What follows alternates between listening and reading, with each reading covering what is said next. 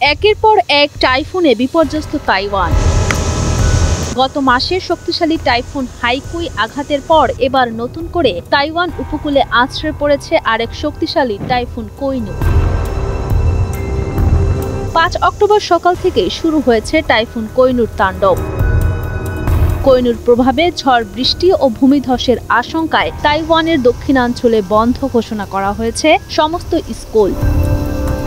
সেই সাথে বাতিল করা হয়েছে একশোটিরও বেশি আন্তর্জাতিক এবং অভ্যন্তরীণ ফ্লাইট। একই সঙ্গে দেশটির দূরবর্তী দ্বীপগুলোতে ফেরি পরিষেবাগুলো বন্ধ করেছে কর্তৃপক্ষ। ভূমিধসের আশঙ্কায় ঝুঁকিপূর্ণ এলাকা থেকে লোকজনকে সরিয়ে নেওয়া হয়েছে।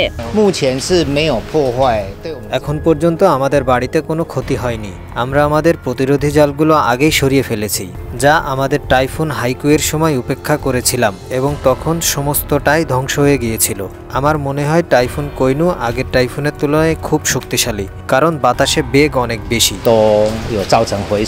এদিকে টাইফুনের প্রভাবে উপকূলে আশ্রে পড়া ঢেউ সাত মিটার পর্যন্ত উচ্চতায় পৌঁছাতে পারে বলে জানিয়েছে কর্তৃপক্ষ। তাইওয়ানের কেন্দ্রীয় আবহাওয়া প্রশাসন বলছে, টাইফুন কৈনু বর্তমানে তাইওয়ানের দক্ষিণাঞ্চলের দ্বীপ থেকে দুইশো কিলোমিটার দূরে অবস্থান করছে, যা প্রতি ঘন্টায় দশ কিলোমিটার বেগে অগ্রসর হচ্ছে।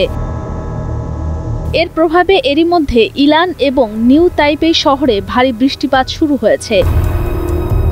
তবে টাইফুন মোকাবিলায় প্রস্তুতি গ্রহণ করছেন স্থানীয়রা।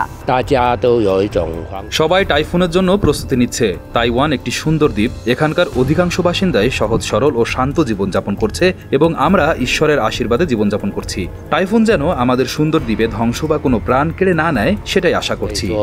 有时候上天的眷顾哦。 এদিকে তাইওয়ানের কেন্দ্রীয় আবহাওয়া প্রশাসনের প্রধান লু কুও চেন জানান পাঁচ অক্টোবর সকালে তাইওয়ানের দক্ষিণ প্রান্ত হেংচুন উপদ্বীপের ওপর দিয়ে টাইফুন কৈনু অতিক্রম করবে বলে ধারণা করা হচ্ছে এর আগে গত তিন সেপ্টেম্বর তাইওয়ানের পূর্ব ও দক্ষিণাঞ্চলে আঘাত হানে হাইকুই